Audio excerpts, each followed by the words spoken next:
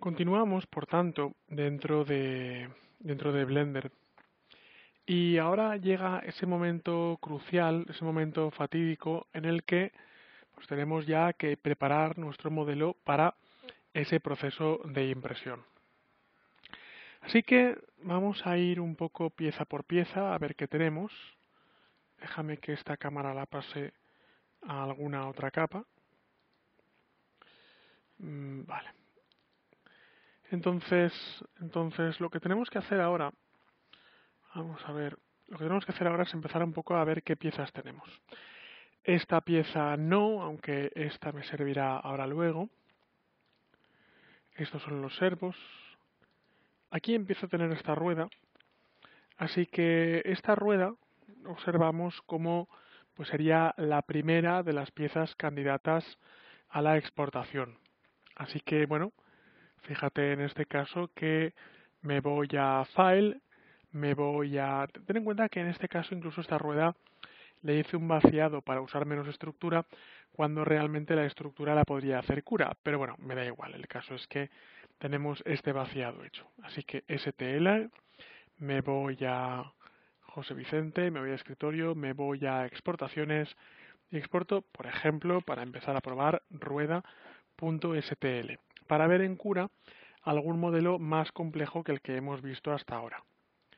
Por tanto, voy a saltar a normal, elimino el modelo, voy a cargar un modelo que va a ser la rueda, y claro, de repente ya estamos de 4K, 6, 8K, estamos en 1,8 megas. Este archivo ya es diferente.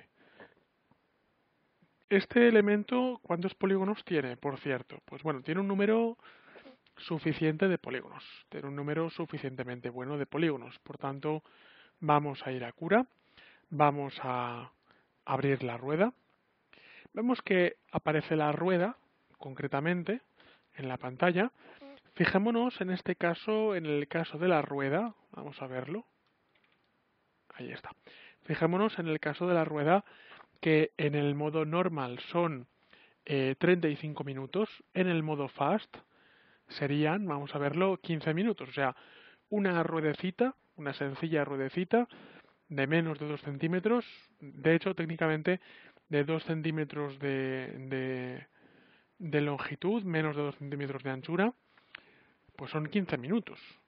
De hecho, si la miramos en overhang, vamos a ver cómo pues tenemos un montón de caras que están eh, colgantes. Ahí tendríamos problema pero yo creo que está claro que un modelo como este, lo que vamos a hacer en primer lugar sería rotarlo. ¿Vale? Así que selecciono el modelo, lo roto, voy a poner lay flat, aunque esto me va a dejar más o menos igual. Bien, no, o peor, voy a hacer control Z y si control Z no me lo arregla, pues lo elimino y lo vuelvo a importar. Así que rueda. Bien, sobre el modelo lo que hago es rotar, lo roto 90 grados en, en cualquiera de estos ejes y fijémonos ahora cómo, pues si me voy a overhang, prácticamente, evidentemente, ya no tengo más caras overhang que, por supuesto, estas de aquí. Muy bien, si me voy ahora a layers, pues podemos un poco observar cuál va a ser el método de generación de, eh, soportes. ¿Vale? Así que, pues fijémonos qué bonito se ve, de hecho voy a hacer una captura y todo, eh, qué bonito se ve en, en las capas. fijémonos en este caso cómo, pues bueno, al trabajar con estas capas, eh, vamos a decir también que, que quiero el print support structure, que quiero la estructura de soporte Y a partir de aquí, por tanto, ahí lo tenemos, como el programa pues va generando todo el modelo. A ver, 76, ahí lo tenemos. Vale, todo el modelo 3D de nuestra plataforma, de nuestra rueda. Bien, ahí me está indicando mm, vale aquí puede haber un problema. Como podemos observar, el programa indica que llegado a este punto puede haber un problema porque el grosor de las paredes eh, puede ser demasiado grande. Así que, pues en este caso, para que no haya problemas, que no hubiera problemas, es cuando tendría que volver a eh, Blender y rehacer la estructura, rehacer la rueda para asegurar que no hubiera problemas. Fíjate que déjame guardar una copia de seguridad. En este caso, incluso una solución sería que el propio programa, la, propia máquina, hiciera la exportación, hiciera realmente la estructura y por tanto lo que haría es lo siguiente. Me voy a me voy a Subsurf. Vamos a ver, voy a desactivar Subsurf. Voy a voy a eliminar algunas caras y por tanto pues hago lo siguiente. Eh, elimino vamos a verlo. Elimino todo este grupo de caras, ahí lo tenemos elimino todo este grupo de caras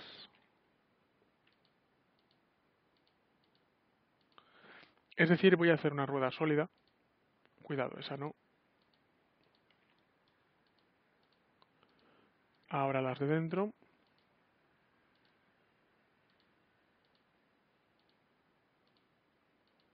Vamos a comprobar si está todo bien seleccionado. Parece que sí. Una me he dejado alguna otra me puedo haber dejado. Y ahora lo que hago es eliminar caras. Así que elimino caras. Se me queda esta geometría abierta. Pero ahora selecciono todo, le digo F y comprobamos cómo el programa ha unido a, eh, bueno, en este caso lo que ha hecho es rellenar esas caras interiores. Con lo cual, si vuelvo a la vista, ¿dónde estás aquí? A la vista de subdivisión, ahí va, qué cosas más extrañas me aparecen. Bueno, pues cuidado, cuidado, porque el programa ha generado algunas caras de más. Bien, ahí está, esa cara está de más, esa cara está de más, ahí lo tenemos, eliminamos aquellas caras que sobran, Bien, vamos a verlo ahora. Y ahora sí. Ahora fijémonos cómo, bueno, tengo algunas caras por aquí. Ah, cuidado. Y vamos allá.